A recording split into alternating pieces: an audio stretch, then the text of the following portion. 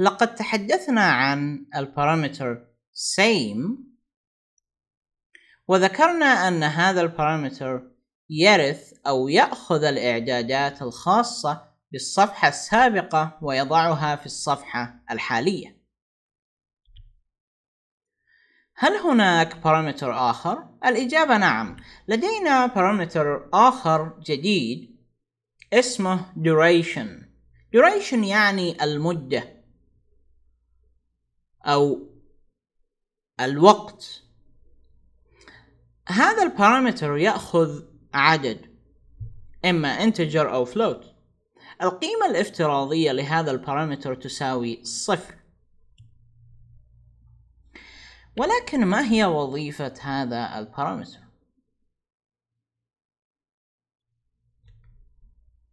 هذا هو الكود الخاص بي حاليا قمت بإضافة background أو خلفية لكل صفحة. قمت بوضع خلفية حمراء للصفحة الأولى وخضراء للصفحة الثانية وزرقاء للصفحة الثالثة وهكذا. ولون مختلف للصفحة الرابعة.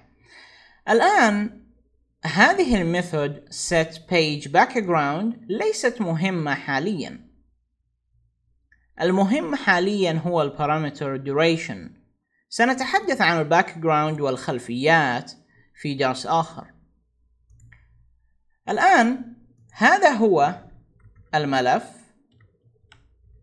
الخاص بي يحتوي على أربع صفحات بأربع ألوان مختلفة. حسنا الآن سنقوم بإضافة duration في كل صفحة. بهذا الشكل. الصفحة الأولى سيكون البارامتر الخاص بالدوريشن أو اللي اسمه duration يحمل قيمة ثلاثة. ثلاثة تعني ثلاث ثواني. وأيضا الصفحة الثانية نفس الأمر duration ثلاث ثواني الصفحة الثالثة ثلاث ثواني الصفحة الرابعة ثلاث ثواني. الآن نقوم بإنشاء ملف ال PDF نقوم بالنظر لملف ال PDF هل هناك اختلاف؟ ليس هناك اختلاف. إذا ماذا يعني ال duration وما هي وظيفة الثلاث ثواني؟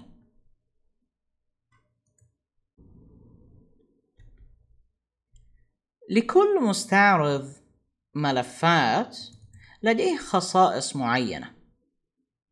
لدينا أدوبي أكروبات يستطيع عرض ملفات ال PDF كعرض تقديمي أو presentation. وتأتي وظيفة ال duration التي قمنا بتحديدها في هذا السياق. بمعنى أننا إذا قمنا بعرض ملف ال PDF هذا ك presentation سيحدث لدينا تأخير في الانتقال للصفحة الثانية بشكل تلقائي. هذا التأخير هو ال duration بمعنى عندما قمنا بوضع الدوريشن ثلاث ثواني فأدوبي أكروبات سيقوم بعرض الصفحة الحمراء ثلاث ثواني من ثم ينتقل للصفحة الخضراء من ثم يعرضها ثلاث ثواني من ثم ينتقل للصفحة الزرقاء وهكذا. الآن لنقم بتجربة ذلك.